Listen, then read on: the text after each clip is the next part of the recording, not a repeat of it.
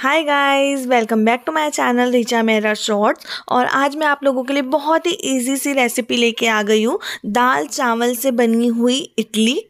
तो यहाँ पर मैंने लिया है तीन कटोरी चावल और एक कटोरी बिना छिलके वाला उड़द दाल। जिस कटोरी से आपने चावल का मेज़रमेंट लिया है, उसी कटोरी से आपको दाल का भी मेज़रमेंट लेना है। दाल चावल को अच्छी तरीके से वॉश करके हमें तीन चार घंटे के लिए दोनों को भिगा के रख देना है। जब दाल चावल को तीन चार घंटे हो जाए भिगा कर रखे हुए, तब हमें इसे मिक्सी पे अच्छे से पीस लेना है और एक घोल तैयार कर लेना है। फिर मैं घोल में डाल रही हूँ थोड़ा सा नमक, क्योंकि अभी ठंडी का टाइम है, इसलिए नमक डालने से घोल को फर्मेंट होने में आसानी होती है। घोल में नमक को मिला के अच्छे से फर्मेंट होने के लिए 12 से 14 घंटे के लिए रख सकते हैं। आप चाहें तो इसे ओवरनाइट भी रख सकते हैं।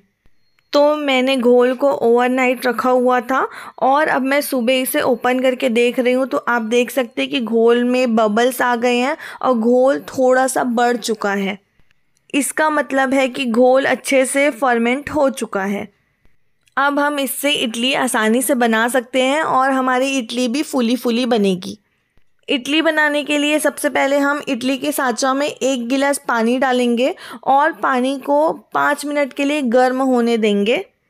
अब हम इडली का साँचा भी निकाल के रख लेंगे और पानी को चेक करेंगे कि पानी में उबाल आया है कि नहीं आया है। तो यहाँ पर पानी में थोड़ा थोड़ा उबाल आ रहा है।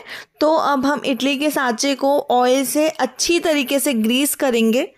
सांचे में ऑयल अच्छे से लगाना बहुत ही ज़रूरी होता है, जिससे कि इडली आसानी से निकल जाए।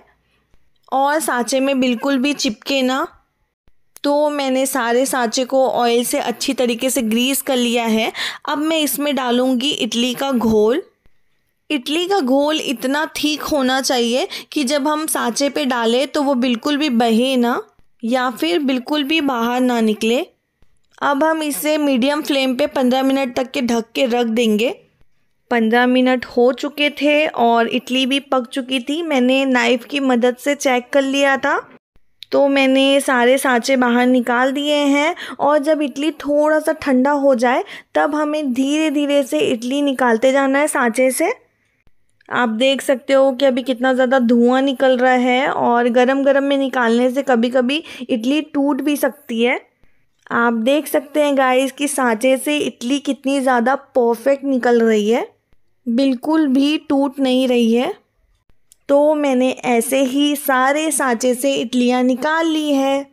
अगर आप घोल इस तरीके से बनाते हैं तो इडली तो परफेक्ट बनती ही है। और साथ में अगर आप इस घोल से डोसा बनाना चाहते हैं तो डोसा भी बहुत ही ज़्यादा परफेक्ट बनता है।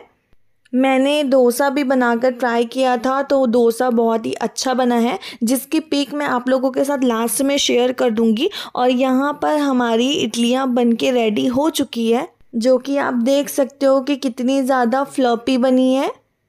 तो गाइज़ अगर आप लोगों को ऐसे ही इजी इजी रेसिपीज़ चाहिए तो आप लोग प्लीज़ मेरे चैनल रीचा मेरा शॉर्ट्स को सब्सक्राइब ज़रूर कर लीजिएगा।